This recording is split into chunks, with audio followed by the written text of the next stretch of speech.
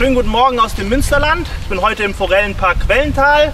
Wie der Name der Anlage schon sagt, hier gibt es viele schöne Forellen zu fangen. Und äh, heute möchte ich mal mit einer für mich recht ungewöhnlichen Technik auf Forellen angeln. Ähm, ja, mit modernen Techniken fürs Raubfischangeln eigentlich. Und da ich da nicht so der Experte für die Angelei bin, habe ich mir kompetente Verstärkung hier heute mitgebracht. Das ist der Marc Bauer vom äh, Quantum Magic Trout Team. Und äh, ja, der ist Experte für diese Angelei und deshalb, Marc, erklär doch mal ein bisschen, was wir heute vorhaben. Ja, also wir wollen heute mit Finesse-Rigs auf Forelle fischen. Gregor wird das Dropshot-Rig ausprobieren, sowohl mit Natur- als auch mit Kunstködern. Ich werde mich heute ein bisschen am Carolina-Rig versuchen, werde auch verschiedene Köder durchtesten. Müssen wir mal gucken, was da funktioniert. Ja, wie gesagt, das sind wie gesagt normalerweise Ködertechniken fürs Raubfischangeln, für Zander, für Barsch. Ich bin noch ein bisschen skeptisch, ob das hier auch am Forellensee funktioniert. Lass mich aber da gerne vom Marc eines Besseren belehren. Äh, denke auch, dass das klappen wird. Wir werden jetzt gleich mal versuchen, ein paar Fische ans Band zu bekommen. Ich habe hier das Carolina Rig. Das Carolina Rig ist so aufgebaut, dass zuerst ein Bullet Lead kommt, danach eine Glasperle, die ist hier farbig. Neugierige Forellen reagieren auch meistens gut auf Farbe gefolgt von einem Knotenschutz, da habe ich einen kleinen Stopper vorgeschaltet. Dann kommt ein Dreifachwirbel, weil ich unter anderem Köder fischen werde, die rotieren. Als Köder fische ich hier eine künstliche Bienenmade, gefolgt von ähm, unserem Wormtail, aufgezogen in L-Form, um eine schöne Rotation zu erzeugen. Mit dem Carolina Rig habe ich den großen Vorteil, ich kann sehr schnell das Gewässer dreidimensional absuchen, kann durch alle Tiefen fischen. Mal schauen, ob es klappt.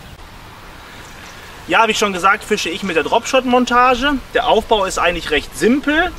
Wir haben hier ein Fluorocarbon-Vorfach in der Stärke 22 mm. Dann einen Haken, der so in die Schnur gebunden wird, dass er 90 im 90 Grad Winkel zur Schnur steht. Als Köder fangen wir jetzt mal mit einem, ja, mit einem Wormtail, mit einem Gummiköder praktisch an.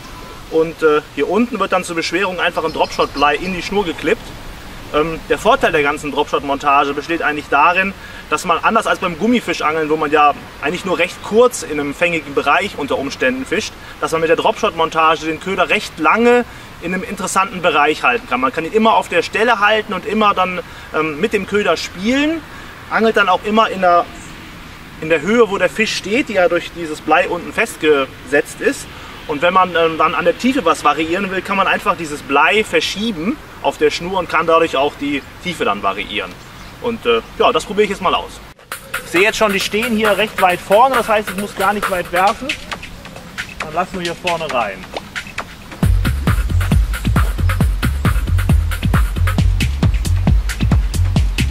Wichtig beim Dropshot-Angeln ist, dass man das Blei auf dem Boden hält und nicht abhebt. Dann kann man schön mit dem Köder zittern.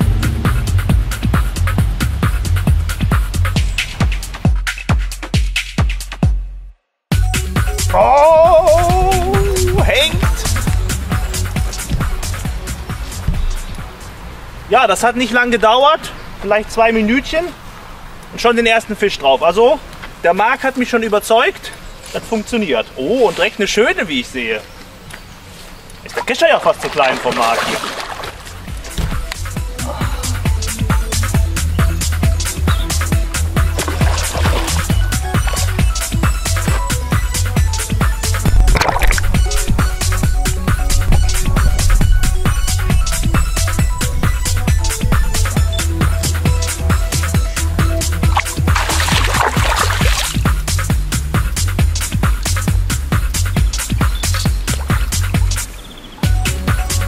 Jawohl, und direkt eine schöne Goldforelle. So stelle ich mir das vor.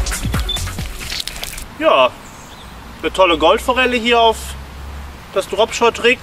Ich muss sagen, ich war am Anfang ein bisschen skeptisch, aber äh, die Skepsis ist spätestens jetzt verflogen. Und äh, ja, Marc, ich muss sagen, du hast doch recht gehabt. Ja, ich konnte gar, nicht so, ich gar nicht so schnell gucken. Gerade der Gregor schon seine Goldforelle aufs Dropshot. Da wollte es mir erst nicht glauben, ne? Ja, ich nehme alles zurück und vielleicht geht ja sogar noch eine.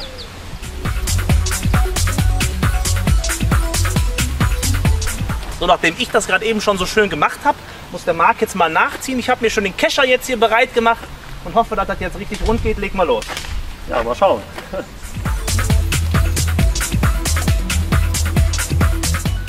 Wie ist da die Führung jetzt?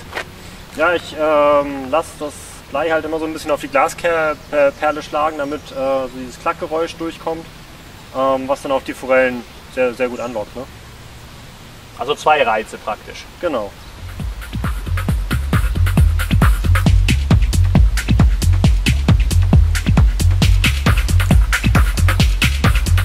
Ich glaube, wir könnten jetzt da hinten auch im Schatten stehen. Wir haben jetzt schon recht viel Sonne.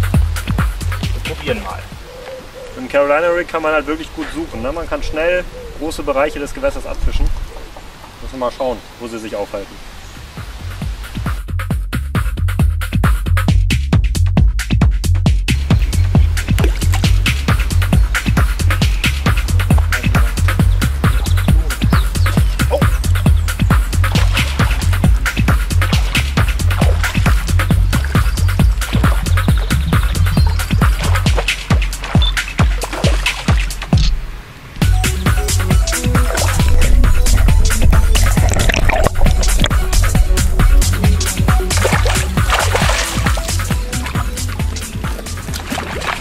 Nachdem der Marc zwei Würfe lang keinen Biss hatte, habe ich schon gezweifelt.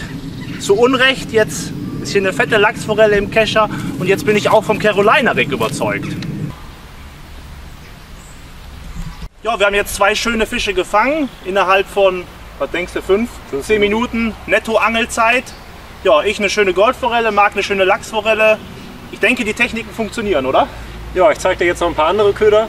Dann gucken wir mal, ob wir noch ein paar überlisten Bin mal können. gespannt, was da noch geht. Ja, man kann die Dropshot-Montage übrigens nicht nur mit Kunstköder angeln, sondern auch mit Naturköder. Und deshalb werde ich jetzt mal so einen schönen Dendrobena-Wurm aufziehen, beziehungsweise durchstechen, weil der nur vorne am Kopf eingehakt wird und werde dann mal gucken, wie es da damit funktioniert. So, ich steche den Haken hier einmal durch den Kopf vorne.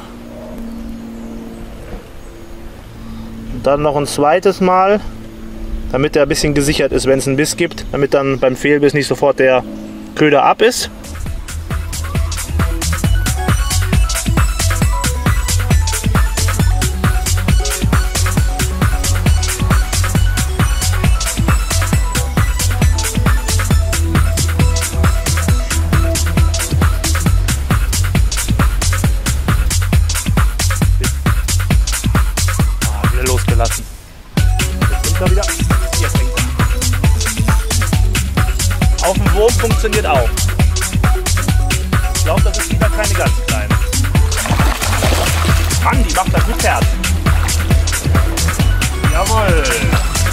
Schöne. Ah, Kilo hat die bestimmt auch. Super. Ja, jetzt habe ich auch auf Wurm gefangen. Man sieht im Maul hängt noch so ein kleines Stück von dem Wurm. Und äh, ja, beim Wurm ist beim Naturköder immer so ein bisschen der Vorteil, dass man den Fisch auch noch ein bisschen schlucken lassen kann. Also man kann dann so ein bisschen warten und dann den Anhieb setzen und dann sitzt manchmal auch der Haken noch ein bisschen besser, besonders wenn sie vorsichtig beißen.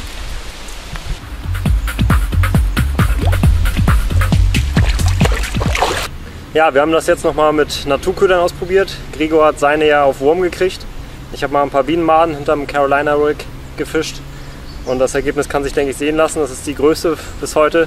Ich konnte Gregors Goldforelle noch mal ein bisschen, noch mal ein bisschen toppen, was mich persönlich sehr freut. Und mit Naturködern funktioniert es halt auch. Beim Dropshot-Angeln wird häufig der Paloma-Knoten verwandt. Ich selber ähm, bin in etwas anderen Knoten. Ich ziehe die Schnur durch das Öhr durch, lege eine Schlaufe über dem Haken und drehe dann den Haken durch die entstandene Schlaufe durch. Das Ganze dann so drei bis vier Mal. Und ziehe dann den Knoten zu. So steht der Haken wunderbar im 90 Grad Winkel immer ab. Zuverlässiger meiner Meinung nach als beim Paloma-Knoten und er hält auch ganz gut was aus. Ja, unser Kurztrip hier an den Forellensee ist vorbei. Ich muss sagen, ich bin mittlerweile echt überzeugt ähm, von der Dropshot-Montage und auch vom Carolina Rig. Bringt wirklich Forellen. Hat der Marc vollkommen recht gehabt. Marc, dein Fazit hier? Ja, wir konnten trotz des äh, sehr warmen Wetter, Wetters ähm, sehr schöne Fische fangen. Denke ich, ist unter anderem auch dem kalten Wasser der Anlage geschuldet. Ähm, für weitere Infos bezüglich der Anlage, die findet ihr unter www.forellenpark-quellental.de. Und wir gehen jetzt noch ein Eis essen. Bis zum nächsten Mal. Tschüss. Tschüss.